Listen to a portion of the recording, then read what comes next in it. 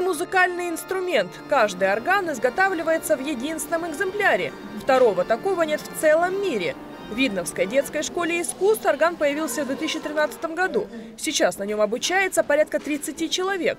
Но сегодня эти ребята были только слушателями. Их единомышленники из московских школ выступили в рамках музыкального вечера «Орган в кругу друзей».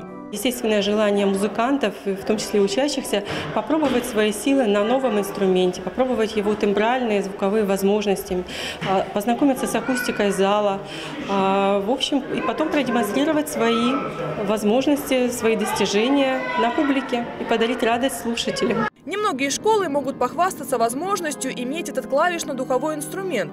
Да и не так часто, как хотелось бы органистам, слушатели приходят на подобные концерты. Поэтому музыканты стараются не упускать возможности выступить перед публикой, познакомиться с новым инструментом и испытать свои возможности. То, что нет одинаковых органов, все это интересно, вот каждый раз по-новому там привыкать к этому инструменту, это очень интересно и очень познавательно.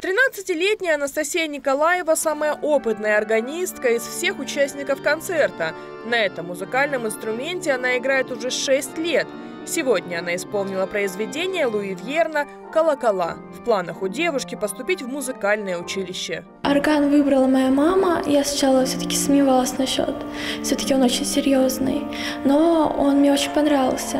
И мне нравится играть в церквях на нем. Кроме того, умение играть на музыкальных инструментах всегда могут пригодиться в жизни. Это не первый и не последний органный концерт в Видновской детской школе искусств. Подобные состоятся еще в ноябре и в конце декабря. Отрадно, что посетить их могут все желающие. Юлия Погосян, Алексей Руднев, Ольга Садовская. Видно этого.